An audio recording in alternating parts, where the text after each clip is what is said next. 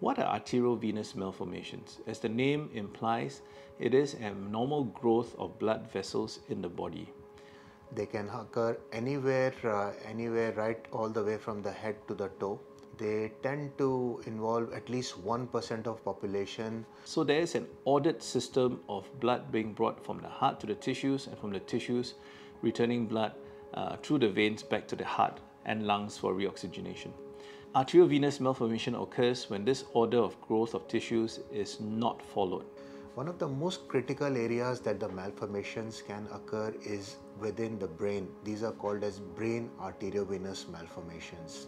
Now, frequently we first diagnose it uh, based on physical appearance. Some patients may notice a large bluish lump or a bluish mass that's slowly growing. Internally, it can also grow in the organs. Patients will present with a stroke, which means they will most commonly come with the bleeding in the brain. We usually do an ultrasound to confirm its presence underneath, and sometimes we even do an MRI. Depending on its size, location, and invasion of tissues, in some cases, it may be curative surgery, but in the large majority, the surgery is not curative but to control the growth of this so that patients can have a good quality of life without pain, bleeding, or disability. And we are able to at least control and cure a large number of these patients using different techniques which can involve open surgery, which can involve endovascular surgery, and sometimes with radiation treatment.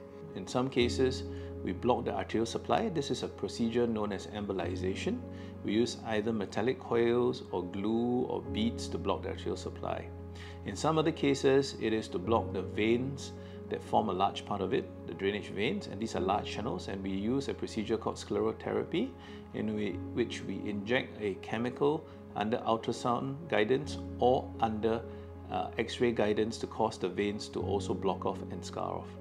In some other cases, we sometimes directly from the skin put a probe into the region of the malformation and we freeze it to cause it to scar down and block off. That's known as cryotherapy.